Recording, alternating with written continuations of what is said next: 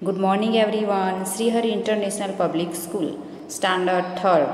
Today we are going to learn about chapter number 12, जानवर कब पैदा हुए इस चैप्टर में पंडित जवाहरलाल नेहरू है वो अपनी बेटी इंदिरा गांधी के नाम एक पत्र लिखते हैं और पत्र में यह बताते हैं कि जो जानवर है एनिमल है वो कब पैदा हुए उनकी लाइफ कैसी होती है उसके बारे में बताया गया है पशु पक्षियों की दुनिया कैसी है? वो हर एक एटमोसफियर में किस तरह से रहते हैं? वो इस पाठ के द्वारा बताया गया है। तो आइए बच्चों, अब हम पाठ के बारे में देखते हैं। पशु पक्षियों की दुनिया बड़ी ही रोचक और रंगीन है। इस पत्र में भारत के पहले प्रधानमंत्री पंडित जवाहरलाल नेहरू ने अपनी बेटी इंदिरा गांधी, इंदु को पशु पक्षियों की रंगीन दुनिया के बारे में बताया है। क्या आप जानते हैं स्वतंत्रता सेनानी होने के कारण नेहरू जी का अधिकतम समय जेल में ही बीतता था? वो क्या करते थे? जब जेल में थे तो उस द्वारा अपनी बेटी को ये पत्र लिखते हैं। प्रिय इंदु, शुरू शुरू में छोटे छोटे समृद्धि जानवर और पानी में होने वाले पौधे दुनिया की जानदार चीज़ों में से थे। वे सिर्फ़ पानी में ही रह सकते थे। किसी कारण पानी से बाहर निकल आते तो ज़रूर मर जाते होंगे। जैसे आज भी मछलियाँ सूखे में आने पर मर जाती है। यहाँ पे क्या है कि जो छोटे छोटे समृद्धि जानवर है, वो पानी में ही रहते हैं। और ऐसा होता है कि अगर वो पानी से बाहर निकले तो मर जाते हैं जिस तरह से मछलियाँ। पानी के वे जानवर जिनकी खाल जरा सख्त थी, सूखी ज़मीन पर दूसरों से कुछ ज़्यादा देर तक जी सकते होंगे, क्योंकि उन्हें सूखने में देर लगती थी। इस प्रकार जिनकी खाल ज़्यादा सख्त थी, सूखी ज़मीन पर वे बढ़ते गए। सोचो, कितनी अजीब बात है, जानवर धीरे धीरे अपने को आसपास की चीज़ों के अनुकूल बना लेते है। अब क्या है कि जिनकी जो ऊपर की खाल होती है, वो सख्त यानी हार्ड होती है, वो ज़मीन पर रहने के काबिल हो जाते हैं। तुमने देखा होगा ठंडे देशों में जहाँ बहुत ज़्यादा बर्फ़ गिरती है, वहाँ चिड़िया और जानवर बर्फ़ की तरह सफ़ेद हो जाते हैं। अब क्या कहना चाहते हैं? वो कहते हैं कि बेटी, अगर तुमने देखा होगा कि ठंडे देशों में जो चिड़िया होती है, जानवर होते हैं, वो बर्फ़ की तरह सफ़ेद होते हैं, क्योंकि वहाँ पे ज़्यादातर बर्फ़ गिरती रहती है।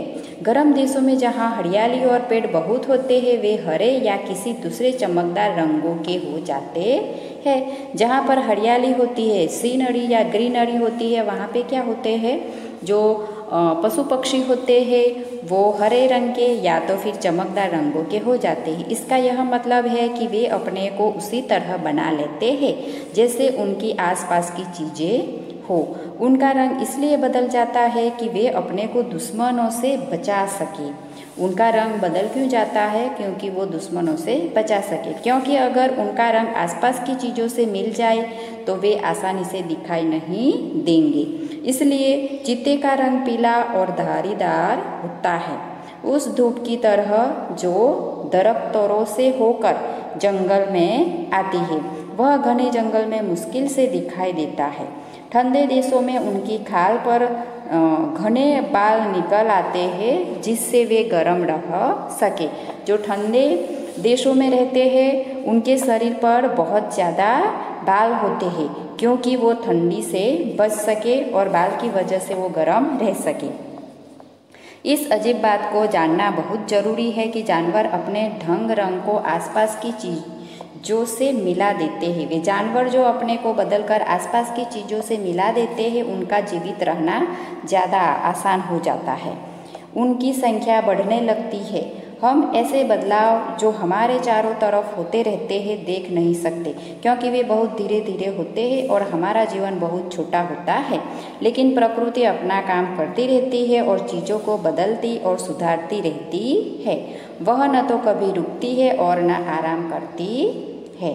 प्रकृति मतलब नेचर वो अपना काम करती रहती है, बदलती रहती है और सुधारती रहती है, वो कभी रुकती नहीं है। अब हम नेक्स्ट पेज पे देखते हैं। इसका मतलब यह भी हुआ कि जैसे और जानवरों ने अपने को आसपास की चीज़ों के अनुकूल बना लिया और आगे बढ़ते गए, इसी तरह आदमी भी तरक्की करता गया। या यूँ कहो कि प्रकृति उसे सुधारती रही, पर आज उसके घमन का ठिकाना नहीं। वह सोचता है कि और जानवरों से उसका मुकाबला ही क्या। लेकिन हमें याद रखना चाहिए कि हम बंदरों और वन मानुषों के ही भाई बंधु हैं, और आज भी शायद हम में से बहुतेरों का स्वभाव बंदरों जैसा ही है। यहाँ पे क्या कहना चाहते हैं कि हम बंदरों और वनु मानव वनु मानुषों के भाई ही है। यहाँ ये अपनी बेटी को बताना चाहता है। अब जरा सोचिए, में क्या बताया गया है कि अपनी रक्षा करने के लिए प्रकृति ने मानव को क्या दिया है? वो यहाँ पे क्वेश्चन पूछा गया है। लास्ट में लिखते हैं, तुम्हारे पिता जवाहरलाल नेहरू। ये उनका जो लेटर है, पत्रा है, वो यहाँ पे फिनिश होता है। अब हम कठिन शब्दों के अर्थ जानते हैं। सबसे पहले है, जानदार। मतलब जानदार का अर्थ होता है जिनमें जीवन हो। अनुकूल, यानी मेल रखने वाला, माफ़ी करने वाला। धारीदार, धारियों से युक्त, बल, बदनाम। बदनाम का अर्थ होता है परिवर्तन लाना, मुकाबला, यानी बराबरी। खाल, त्वचा, चमड़ी। दुश्मन मतलब शत्रु। फिर है दरख्त मतलब बड़े बड़े पेड़। तड़क की प्रगति, बहुतेरो मतलब अधिक उत्तर। ये तो थे कठिन शब्दों के अर्थ। अब हम अभ्यास देखते हैं। अभ्यास में सबसे पहले है मौखिक प्रश्न। मौखिक प्रश्न में फ़र्स्ट क्वेश्चन है, यह पत्र किसने किसको लिखा है? ये जो पत्र है, वो किसने किसको लिखा है? वो आपको बताना है। क्या लिखोगे? यह पत्र पंडित जवाहरलाल नेहरू ने अपनी पुत्री इंदु, या तो इंदिरा गांधी को लिखा है। सेकंड क्वेश्चन है, चीते का रंग कैसा होता है? चीते का रंग कैसा होता है? चीते का रंग पीला और धारीदार होता है। थर्ड क्वेश्चन प्रकृति किन्हें सुधारती रहती है? प्रकृति चीज़ों को सुधारती रहती है। किसे? चीज़ों को सुधारती रहती है। फोर्थ क्वेश्चन मानव किनके भाई बंधु है? मानव बंदरों और वन मानुषों के ही भाई बंधु है। एकदम इजी क्वेश्चन है, ये आपको बताने हैं। मिलान कीजिए, यानी मैच द फॉलोइंग अ और ब के साथ आपको मैच करना है। फ़र्स्ट है छोटे छोटे समृद्धि जानवर। तो क्या आएगा? सामने सिर्फ़ पानी में ही रह सकते हैं। सेकंड है मछलियाँ। सूखे में आ जाने पर मर जाती है। थर्ड, आदमी सोचता है और जानवरों से उनका मुकाबला ही क्या? फोर्थ का फ़र्स्ट, फोर्थ का आएगा सेकंड कि उनका रंग इसलिए बदल जाता है कि वे अपने को दुश्मनों से बचा सके। इस तरह से मैच द फॉलोइंग आपको मैच करना है। फिर है, सही शब्द लिखकर वाक्य पूरे कीजिए। Fill in the blank complete करनी है। फ़र्स्ट है जानवर धीरे धीरे अपने को आसपास की चीज़ों के क्या आएगा अनुकूल बना लेते हैं। सेकंड जानवर अपने को उसी तरह का बना लेते हैं जैसे उनकी आसपास की चीज़ें हो। ये फ़र्स्ट में अनुकूल है सेकंड में आपको लिखना है आसपास। नेक्स्ट पेज पे देखते हैं। उनका रंग इसलिए बदल जाता है कि वे अपने को, क्या आएगा? थर्ड, शत्रुओं शत्रुओं से बचा सके। क्या लिखना है? शत्रुओं। फिर फोर्थ है, जो अपने को बदल लेते हैं, उसका क्या आएगा? अपने को बदल लेते हैं, उसका रहना आसपास हो जाता है। फिल इन द ब्लैंक में क्या आएगा? जीवित रहना जीवित रहना आसान हो जाता है। अब लास्ट है, चीज़ों को बदलती और सुधारती रहती है कौन? प्रकृति। प्रकृति चीज़ों को बदलती और सुधारती रहती है।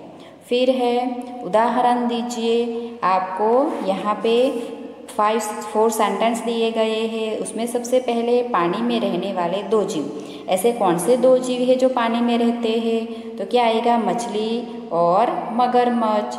सेकंड है। सूखी ज़मीन पर रहने वाले दो जीव। सूखी ज़मीन पर रहने वाले दो जीव क्या आप नाम लिख सकते हो? हाथी है या तो फिर शेर है।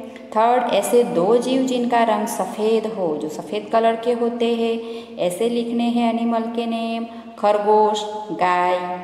फिर, घने व लंबे बालों वाले दो जीव, जिसके बाल बहुत लंबे होते हैं, रीछ, भालू। ये दो एनिमल के नाम है। आप कुछ, अगर कुछ दूसरा लिखना चाहते हो तो वो भी एनिमल का नाम आप खुद लिख सकते हो। फिर है दिए गए प्रश्नों के उत्तर लिखिए। जैसे कि फ़र्स्ट क्वेश्चन है, जीवन की शुरुआत कहाँ से हुई थी? जीवन की शुरुआत कहाँ से हुई थी? तो आंसर क्या आएगा? जीवन की शुरुआत छोटे छोटे समृद्धि जानवरों तथा पानी में रहने वाले पौधों से हुई थी। छोटे छोटे समृद्धि जानवरों तथा पानी में रहने वाले पौधों से हुई थी। सेकंड क्वेश्चन है, सूखी ज़मीन पर रहने वाले जानवरों की क्या विशेषता थी? जो सूखी ज़मीन पर रहते हैं, उनकी विशेषता क्या है? सूखी ज़मीन पर रहने वाले जानवर धीरे धीरे अपने को आसपास की चीज़ों के अनुकूल बना लेते थे। थर्ड क्वेश्चन है गर्म देशों और ठंडे देशों के जानवरों के रंग में क्या अंतर होता है? जो गर्म देश में रहते हैं, वो जानवर और ठंडे देशों में रहते हैं, उन दोनों के बीच में अंतर क्या है? डिफरेंस क्या है? तो आंसर क्या आएगा? ठंडे देशों में अधिक बर्फ़ गिरने के कारण वहाँ चिड़िया और जो जानवर होते हैं, बर्फ़ की तरह वो कैसे होते हैं? सफ़ेद हो जाते हैं और गर्म देशों में अधिक हरियाली होने के कारण उन वो जानवर हरे या तो फिर दूसरे चमकदार रंगों के हो जाते हैं। फोर्थ क्वेश्चन है, ठंडे देशों के जानवरों की खाल पर घने बाल क्यों निकल आते हैं? क्योंकि ठंडे देशों के जानवरों की खाल पर घने बाल निकल आते हैं, जिनमें वे गर्म रहकर, वो गरम रह सके इसलिए। हम प्रकृति में होने वाले परिवर्तनों को देख क्यों नहीं पाते? नेक्स्ट क्वेश्चन है, हम प्रकृति में होने वाले परिवर्तनों को क्यों नहीं देख पाते? हम प्रकृति में हो रहे परिवर्तनों को देख नहीं पाते क्योंकि वे बहुत धीरे धीरे होते हैं और हमारा जीवन बहुत छोटा होता है। लास्ट क्वेश्चन आदमी को किस बात का घमंड है? आदमी आदमी ने भी अपने आसपास की चीज़ों का अपने अनुकूल बना लिया और उसकी नकल करना करता गया। इस बात का उसे बहुत घमंड है। Now we will see on next page पाठांश पर आधारित प्रश्न। यहाँ पे आपको पाठ का पैराग्राफ दिया गया है, उसके हिसाब से आपको प्रश्नों के उत्तर देने हैं। पाठ की लाइन है, जानवर धीरे धीरे अपने को आसपास की चीज़ों के अनुकूल बना लेते हैं। तुमने देखा होगा, ठंडे देशों में जहाँ बहुत ज़्यादा बर्फ़ गिरती है, वहाँ चिड़िया और जानवर बर्फ़ की तरह सफ़ेद हो जाते हैं। गर्म देशों में जहाँ हरियाली और पेड़ बहुत होते हैं, वे हरे या तो किसी दूसरे चमकदार रंगों के हो जाते हैं। इसका यह मतलब है कि वे अपने को उसी तरह बना लेते हैं जैसे उनकी आसपास की चीज़ों हो। उनका रंग इसलिए बदल जाता है कि वे अपने को दुश्मनों से बचा सके, क्योंकि अगर उनका रंग आसपास की चीज़ों से मिल जाए तो वे आसानी से दिखाई नहीं देंगे। अब हम पहले फ़र्स्ट क्वेश्चन देखते हैं। ठंडे देशों में चिड़िया और जानवरों का रंग सफ़ेद क्यों होता है? ठंडे देश हो तो उसमें जानवर और चिड़िया का रंग सफ़ेद क्यों होता है? क्योंकि ठंडे देशों में बहुत ज़्यादा बर्फ़ गिरती है, इसलिए वहाँ चिड़िया और जानवरों बर्फ़ की तरह सफ़ेद हो जाते हैं। ये आपको क्वेश्चन का आंसर लिखना है। सेकंड है, गर्म देशों के जानवर कैसे होते हैं? आंसर क्या आएगा? गर्म देशों के जानवर हरे या किसी दूसरे चमकदार रंगों के हो जाते हैं? ये आंसर आपको लिखना है।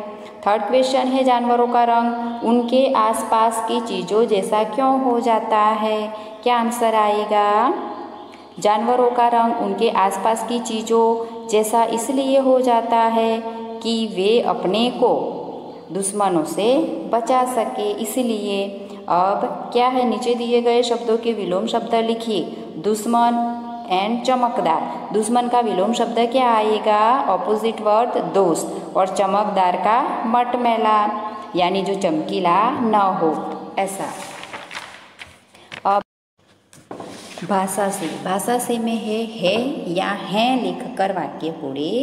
कीजिए। जैसे कि फ़र्स्ट है, मछलियाँ सूखे में आने पर मर जाती हैं। यहाँ पे हैं, आएगा। सेकंड है, यह कितनी अजीब बात है। थर्ड चिड़िया बर्फ़ की तरह सफ़ेद हो जाती हैं। फोर्थ वह घने जंगल में मुश्किल से दिखाई देता है। फिफ्थ प्रकृति अपना काम करती रहती है। इसी तरह से हैं या है लिखकर आपको वाक्य कंप्लीट करने हैं। विलोम शब्द लिखिए ऑपोजिट वर्ड लिखिए, जानदार का बेजान, सूखा मतलब उसका ऑपोजिट होता है गीला, गर्म का ठंडा, फिर है मुश्किल मुश्किल का ऑपोजिट आसान, सख्त, नरम, धीरे, तेज, इसी तरह से ये आपको ऑपोजिट वर्ड कंप्लीट करने हैं। फिर है नीचे दिए गए शब्दों का वाक्य में प्रयोग कीजिए शुरू शुरू धीरे धीरे रंग धंग आसपास आप खुद भी अपने ये वाक्य बनाकर लिख सकते हो। जैसे कि फ़र्स्ट है शुरू शुरू तो क्या आएगा? निर्भय ने शुरू शुरू में क्या है? कुछ गलतियाँ की थी। शुरू शुरू में कुछ गलतियाँ की थी। सेकंड धीरे धीरे, कछुआ धीरे धीरे चल कर खरगोश से आगे निकल गया या तो खरगोश से पहले पहुँच गया। रंग दंग मुंबई जाते ही मुकेश ने रंग ढंग बदल लिए, या तो बदल गए आसपास। हमें अपने आसपास के स्थान को साफ़ सुथरा रखना चाहिए। इस तरह से आप सेंटेंस बना सकते हो। फिर है मेरी कलम से। सुन्नी द्वारा लिखा गया पत्र। पढ़िए, ये एक पत्र लिखा गया है, वो आपको पढ़ना है। जैसे क्या लिखा है? प्यारी कुकी। यहाँ हमारे स्कूल के सामने एक पीपल का पेड़ है, जहाँ पर एक बुढ़िया बैठती है। वह उब, उबले हुए सिंगाड़े बेचती है। माँ से रोज़ दो रुपये लेकर जाती हूँ और ख़रीद कर मज़े से खाती हूँ। पीपल के नीचे संभल कर जाना पड़ता है। ज़मीन पर चीटे रेंगते हैं। काट ले तो देर तक जलन होती रहती है। चींटे तो मुफ़्त में खाते हैं, पीपल अपने फल के बदले उनमें कोई कीमत नहीं लेता। तुम भी अपने पिता से बोलो, यही आकर रहे। मेरी एक नई दोस्त बनी है सांवड़ी नाम ही नहीं, उसका रंग भी सांवला है। शायद मुँह पर मलाई नहीं लगाती होगी।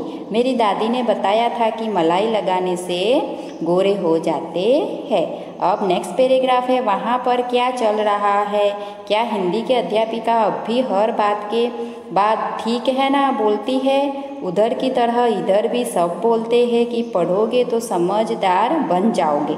मुझे तो स्कूल जाते छह साल हो गए, पर किसी से पूछूँ कि ठंड में कुत्ते के पिल, पिल्ले बिना रजाई के कैसे रह लेते हैं? तो बोलते हैं, चुप रहो, अभी तुम ना समझ हो। तुमने बताया था कि तुम्हारी नानी बहुत समझदार है, वो तो कभी स्कूल नहीं गई।